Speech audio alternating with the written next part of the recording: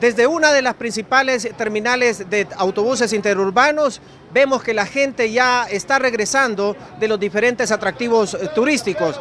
La mayoría de las personas dice que procede de Puerto Cortés y anduvo vacacionando en las playas. También eh, hubo visitas eh, constantes a Olancho y diferentes sectores del país. Puerto Cortés, ¿cómo le fue? ¿Cómo está el ambiente allá? Muy bonito, las playas muy limpias. Ah, ya. ¿Y usted es de la capital? Sí. Ah, sí. ya. Soy de San Marcos de Colón, pero me estoy aquí. en- ¿Anduvo bañando? Sí. Bueno. ¿Cuál es su nombre? Alondra, Alondra Venegas, Vanegas. ¿De dónde? ¿De qué parte de la capital es? eh, de la colonia Ciapa. Gracias. De Taula B. Paula, ve, eh, su familia, eh, anduvo con su familia. Sí, con una tía de mi prima, pero bien bonito las cuevas, el río y el turismo que hay ahí. Muy agradable. Inolvidable Semana Santa. Inolvidable, gracias a Dios salió todo bien. Belkin, ¿De dónde viene? ¿De dónde vive acá? eh, por la Oscar Castro. En Olancho, ¿Y cómo está Olancho?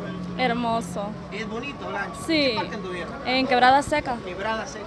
Sí. Mucho gusto. ¿De dónde vive aquí? Eh, de Tegu, de la colonia Nueva Suyapa. Ah. ¿Cuál es su nombre? Eh, Kaylin, Kaylin. Kaylin. sí. Maldonado. Maldonado. En Hualaco, Olancho. Gualaco, Olancho. ¿Cómo Sí. es Gualaco? ¿Es bonito? ¿Qué, Sí, es qué bonito. atractivos hay ahí? Están las cuevas de Talgua, eh, pueden ir también a la Feria del Tucinte, que es para ahorita. Y hay muchos lugares bonitos donde pueden ir a, a disfrutar de, de estas bonitas vacaciones. ¿Y se gasta? Pues no, la verdad, bueno, nosotros porque andábamos donde la familia.